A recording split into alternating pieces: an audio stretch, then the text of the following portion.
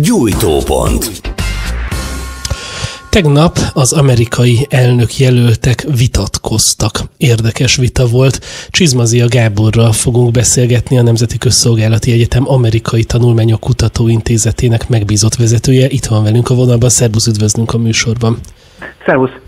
Én azt hittem, hogy itt majd az lesz, hogy Trump gyakorlatilag felmossa a padlót Bidennel, és K.O.-val kiüti, és az egész elnökválasztási kampány megfordul, és Trumpnak innentől óriási, behozhatatlan erő, előnye lesz. De nem így lett, olyan volt, mintha Biden erőre kapott volna, nem? Igen, olybá tűnt, tehát részben azért, mert Biden alapvetően hozta a kötelezőt, tehát bár érződött az, hogy kevésbé aktív, mint Donald Trump, ugye hát ez, ez várható volt, és ez, és ez evidens is, viszont nem igazán vesztette el a gondolatait, tehát voltak sokkal rosszabb szereplései ennél, szóval egyrészt ezért érződött, mert összességében összeszedett volt, Másrészt viszont azért is ez a fő oka ennek a benyomásnak, hogy mégsem tudta Trump hát a vártakhoz képest hát lebeszélni úgymond a színpadról Joe Biden. Ez pedig azért volt, mert hogy a Donald Trump egy kicsit, ha úgy teszik, túltolta a biciklit. Mert hogy nagyon aktív volt, kifejezetten harcias retorikát alkalmazott, ami eleinte jó volt, egy idő után azonban egy nagyjából egy 15-20 perc után, amikor már a narrátor is többször rászólt, hogy hát jó lenne, hogyha tiszteletben tartaná azt a közös megállapodást, hogy két-két percig mindenki mondhatja a magáét, és aztán arra lehet reflektálni, akkor az azért jelzésértékű volt, hogy ez már kontraproduktív. Már csak azért is, mert egyébként a narrátor, ugye Chris Wallace, aki a Fox News-nak a munkatársa. De regisztrált demokrata szavazó egyébként. Érdekes egyébként, mert technikailag ugye alapvetően inkább jobboldali újságírónak tartják, de, de, de azért időnként kritikus hangot ütött meg az amerikai elnöket a Donald trump szemben, és ez abból a szempontból most is érződött, hogy enyhébb kísérletek voltak egy-egy alkalommal arra a narrátor részéről, vagy pontosabban a, a, a kommentátor részéről, hogy, vagy moderátor részéről, bocsánat, hogy hát nem is sarokba szorítsa, de egyértelmű válaszra késztesse a jelölteket, kifejezetten Joe Biden, de ezek viszonylag erőtlen próbálkozások voltak, ezért nem egyszer fordult elő a vita alatt, másfél órás vita alatt, hogy Donald Trump átvette a kezdeményező szerepet, és ő tett fel kifejezetten markáns kérdéseket Joe Bidennek, ahol, ahol úgy tetszik szint kellett vallania. Most ezek nagyon jó lehetőségek voltak Donald Trumpnak, de igazából nem tudta őket alkalmazni, és nem azért, mert elmulasztotta volna, hanem azért, mert folyamatosan kérdezősködött ugye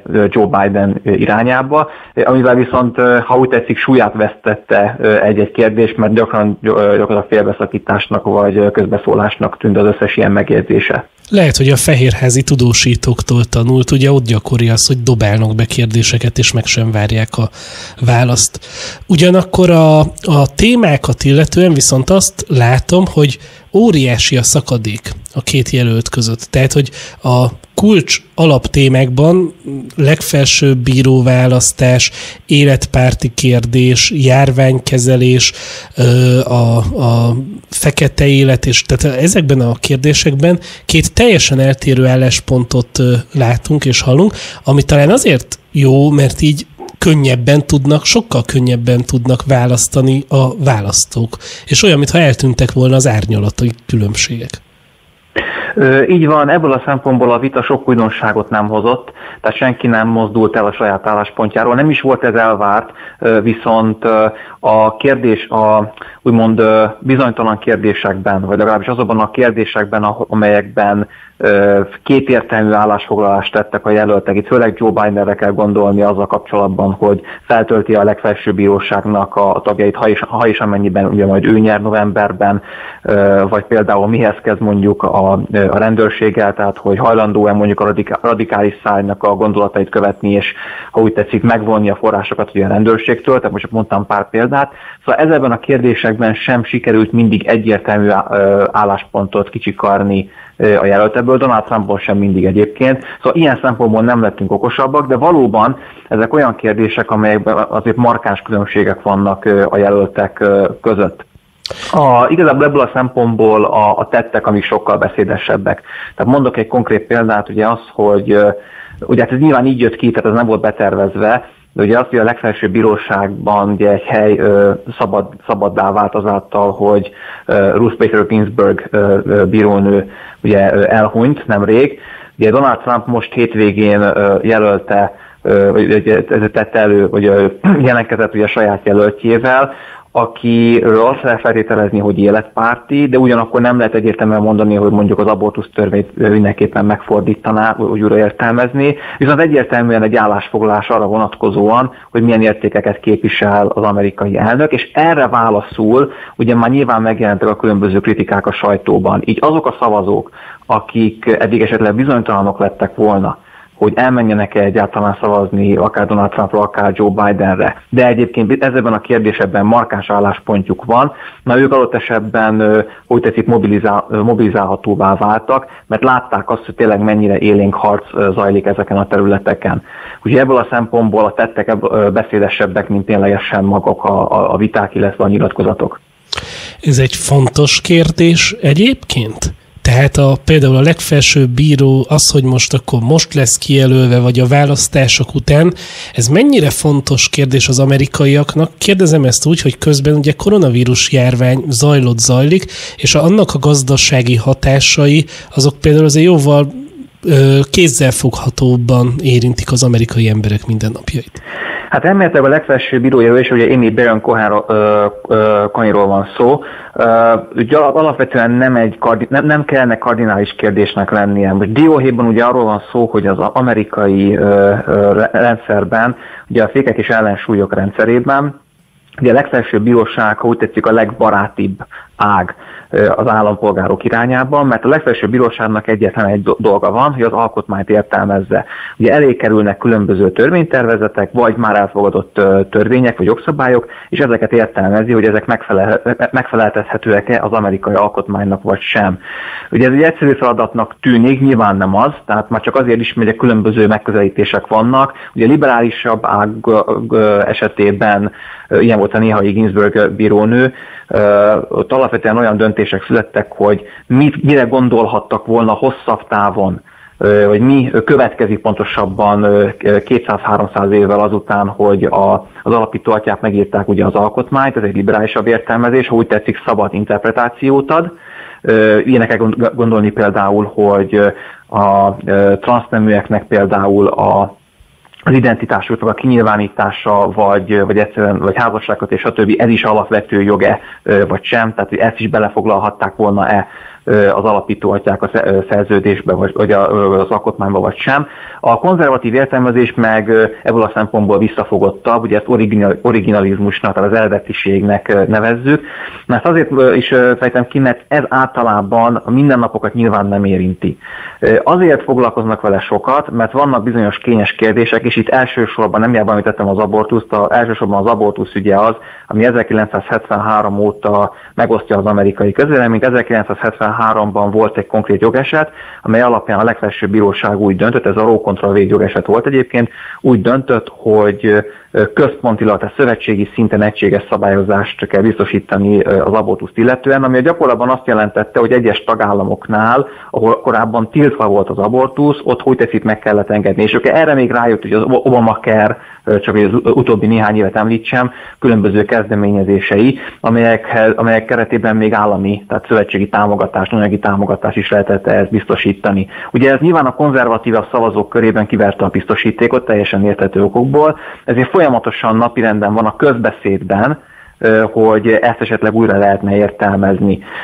Trump 2016-ban még kampányolt is emellett egyébként, valószínűtlen, hogy ezt újra értelmezzék, de ez a magyarázata annak, Konkrétan ez a konkrét ügy, a magyarázata annak, hogy sokan, főleg egyébként a liberális oldalon, hát vészhalangokat kongatnak, hogyha adott esetben egy konzervatív taggal bővül a, a legfelsőbb bíróságnak a, a létszáma. És ezért van az, hogy konkrétan komoly kérdésként kezelik, mert úgy tűnik, mintha mindennapi életet meghatározná, meghatározhatná, de nem feltétlenül, mert egyszerűen nincs napirenden. Ez szóba jött egyébként ennap a vitán is, hogy ez most napirenden van, vagy sem, illetve mi a, mi a bírójelölt asszonynak a, az álláspontja ebben a témában. Úgyhogy ilyen szempontból a Covid az konkrétan sokkal jobban nyom, sokkal többet nyom alatban, mint ténylegesen a legfelsőbb bíróság, csak hajlamosak, és az záró gondolat, hajlamosak az emberek úgy tekinteni a legfelsőbb bíróságra, mint aki politikát csinál. Ez főleg a demokrata oldalon van így, nem hiába tervezik egyébként radikális szányon bővíteni a, a legfelsőbb bíróságnak a körét, mert egyszerűen úgy tekintenek rá, mint egy újabb ágat arra, azzal a célral, hogy liberalizálják a különböző jogszabályokat. Eredetileg nem erre volt kitalálva. A másik nagyon érdekes dolog az pedig a vitának a hangneme, és nagyon érdekes, hogy gyakorlatilag az, amit régen láttunk, hogy azért Amerikában a demokrácia tisztelete az jelenti egymás tiszteletét is, meg hogy úgy volt mindig is egyfajta ilyen magasztosabb Amerika feeling, az, az ahhoz képest most tényleg olyan volt, mint hogy Mónika sót néztük volna. Tehát nagyon megdöbbentően rossz volt a, a vitának a hangulata, mert mint így, így stílus szempontjából. Ez innentől ez lesz Amerikában? Tehát ez lesz a hang, nem? Én optimista vagyok egy fokkal, egyrészt azért, mert ennek egy részét Trump generálja, mm, nem feltétlenül okozza egyébként, megjegyzem, tehát a, a populizmus az vissza, visszavezethető egészen Obamáig, de ezt a fajta stílus, tehát ezt a fajta hát, TV vagy szórakoztatóipari stílus, ezt valóban Donald Trump ez nagy, nagy értékben generálja, a másik oldal meg erre nyilván válaszol. Ugye hát az egyik legdurvább megjegyzés pont a vitán ugye az, hogy hallgasson el a másik, hogy fogja be a pofáját konkrétan, vagy kussoljon. Hát ez konkrétan a közel, közel fél évszázados politikai tapasztalattal rendelkező Joe Biden-től jött. Tehát ebből a szempontból, ha az egyik oldal ezt elkezdi, akkor a másik oldal folytatja. Ilyen szempontból valóban mélepülésben vagyunk. Én azért vagyok egy kicsit optimistább, mert egyrészt, hogyha kikerülnek ezek az elemek idővel, és nyilván idővel kikerülnek a politikából, akkor ott esetben van egy lehetőség arra, hogy ez javuljon. A másik pedig az, hogy Valóban ez a döntő benyomása a sajtóban, meg a visz, meg az elemzők körében, hogy mennyire színvonal, színvonal alatti volt a vita a minap. Megjegyzem, egy fokkal jobb volt, mint 2016-ban, tehát Hillary mhm. Clinton és Donald Trump között, mert akkor valóban tényleg olyan volt, mint ezekben a showműsorokban, hogy az emberek ö, ö, tapsal, vagy behúrogással, vagy fújolással ugye megszakították az adott, az adott beszédet, vagy monológot. Itt ebből a szempontból ez most nagyon Legalább a közönség tartotta magát. Ebből a szempontból az ott meg, a műsorvezető kezéből egyébként 15-20 perc után kicsúszott az irányítás, tehát valóban a, a, a Donald Trump és, és Joe Biden hát a politikai retorikájának a színvonalát bizony azt, azt nem, nem emelte meg, fogalmazunk úgy, de maga a közönségnek, az egésznek a milliónek a hangulata az nem volt annyira durva, mint négy évvel ezelőtt. A kérdés az az egyébként, hogy lesz-e folytatás, mert elméletileg még kettő vitára sort kellene keríteni az elnök jelöltek között, de Joe Biden most akár mondhatná azt is, hogy mivel folyamatosan ugye részben joggal, részben pedig nyilván túlzottan, de félbe volt szakítva, ezért mondhatná azt is, hogy hát ennek azért ennek a vitának, vagy ennek a a havakozásnak ennek nincs értelme, tehát nincs értelme még egyszer vitatkozni a másik féllel, mert úgysem hallgatja meg. Úgyhogy ebből a szempontból ennek vannak ilyen káros követ, vagy lehetnek ilyen káros következményei. Szerinted ezek a viták mennyiben tudják mozgósítani a bizonytalan szavazókat? Van értelme ezeknek a vitáknak, vagy ez csak egy showműsor? Hát ez inkább az utóbbi, tehát a bizonytalanokat ez így nem tudtam megmozgatni, pont azért, amit korábban említettem, hogy nem tudtunk meg, meg új információt a jelöltekről, és ugye részben személyeskedés, részben pedig a korábbi álláspontoknak az ismételgetése volt, tehát a bizonytalanokat nem, különösebben nem mozdította meg. Van egy érdekes elmélet, ami szerint annyiban hozott változás, hogy hozhat változás, de ugye ez még korai megállítani, mert mondom papíron még kettő vita hátra van, és akkor nem számoltam még az alelnök jelölti vitát, bár ugye azt kevesebben nézik.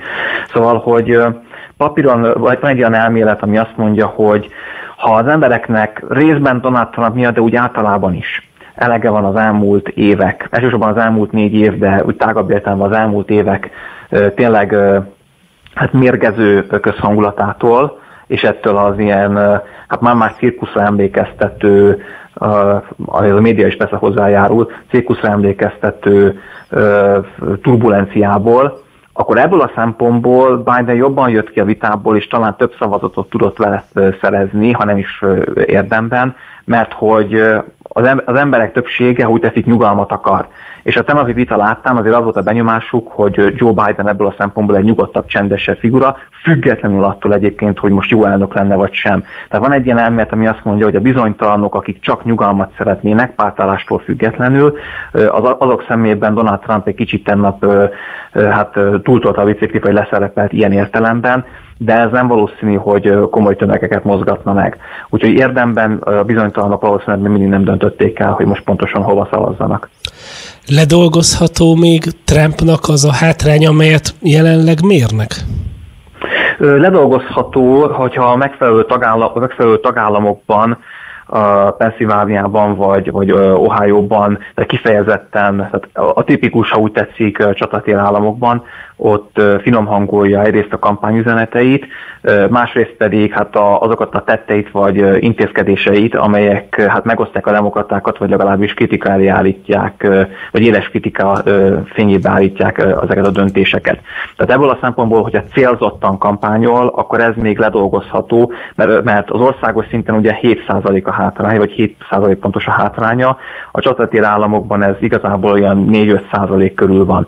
Tehát ez alacsonyabb, ez behozható, feltéve, hogy hát direkt cél, céltudatosan ezt, ezt hangsúlyozza. Pont ezért voltak egyébként még jobboldali, tehát konzervatívabb elemzők is kritikusak egyébként trump szemben a tegnapi vita hallatán, vagy a múltkori vita hallatán, mert úgy érezték, hogy tulajdonképpen csak hagyni kellett volna Joe Biden beszélni. Azért, hogy egyszerűen saját magára nézve kompromittáló vagy megosztó kijelentéseket tegyen. Lehet, hogy az majd a következő vitában lesz. Csizmazia Gábornak a Nemzeti Közszolgálati Egyetem Amerikai Tanulmányok Kutatóintézetének megbízott vezetőjének. Köszönjük szépen, hogy itt voltál velünk.